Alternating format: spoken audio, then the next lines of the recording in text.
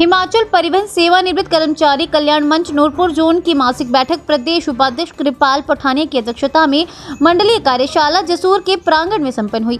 बैठक में सर्वप्रथम प्रदेश के उप मुख्यमंत्री की धर्मपत्नी के आकस्मिक निधन पर हिमाचल परिवहन कर्मचारी कल्याण मंच के सदस्यों द्वारा दुख व्यक्त किया गया तथा बैठक में उपस्थित सदस्यों द्वारा उनकी दिवंगत आत्मा की शांति के लिए दो मिनट का मौन भी रखा गया।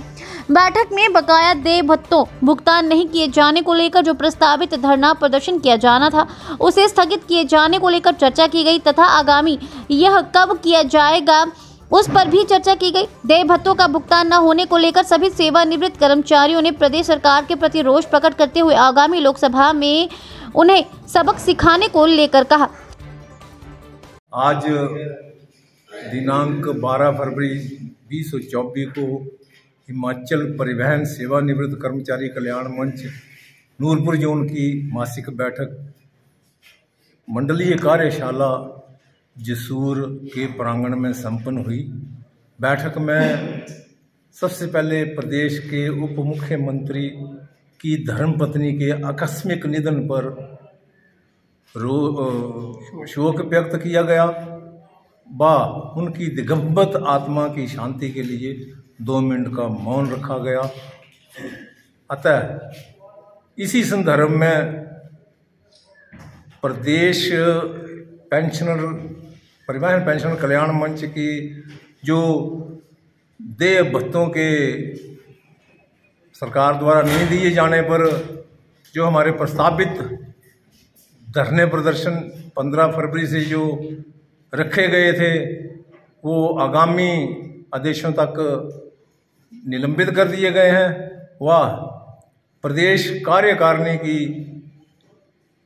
बैठक बिलासपुर 26 फरवरी बीस को बुलाई गई है। उस बैठक में जो सरकार का ढुलमुल रवैया है देय भत्तों के प्रति, उसके बारे में आगामी प्रदर्शन की रूपरेखा जो है, वो तय की जाएगी। प्रेस के माध्यम से मैं मुख्यमंत्री महोदय को ये अपना संदेश परिवहन कल्याण मंच के तरफ़ से पहुंचाना चाहूँगा कि पूर्व में भी जितनी भी सरकारें रही हैं, वो कर्ज लेके ही प्रदेश का भलाई के काम करती रही हैं, व कर्मचारियों के समय समय पर देय भत्तों का भुगतान करती रही हैं। परंतु बहुत दुख के साथ कहना पड़ रहा है कि वर्तमान में जो श्री मुख्यमंत्री श्री सुखिंदर सिंह सुक्खू जी की सरकार है वो कर्मचारियों एवं पूर्व कर्मचारियों के देय भत्तों के प्रति उदासीन रवैया अपनाए हुए है। मैं प्रेस के माध्यम से ये बात भी मुख्यमंत्री महोदय तक पहुंचाना चाहूँगा कि गत लोकसभा के हुए उपचुनाव मंडी लोकसभा क्षेत्र में हमने पूर्व में सरकार को देय भत्तों के प्रति अनदेखी करने पर चिताया था कि समय रहते हमारे देय जो भत्ते हैं उनका भुगतान कर दिया जाए।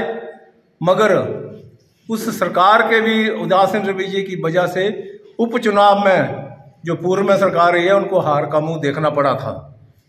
उस समय पर मंडी लोकसभा उपचुनाव में बारह हज़ार सात सौ वोट जो है, वो नोटा को पड़ा था।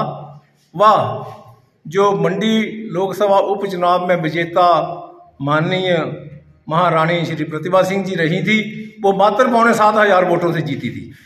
तो इसका क्यास लगाया जा सकता है कि कर्मचारियों का रवैया पूर्व सरकार के बारे में क्या था? अतः हम समय रहते सरकार को ये याद दिलाना चाह रहे हैं, चेताना चाहते हैं कि हमारे भत्ते जो हैं, दिन प्रतिदिन बढ़ते जा रहे हैं। कृपया वेतन योग की सिफारिशों के जो हमारे देय राशि है, उसका भुगतान की एक किस्त हमें कम से कम जारी कर दी जाए।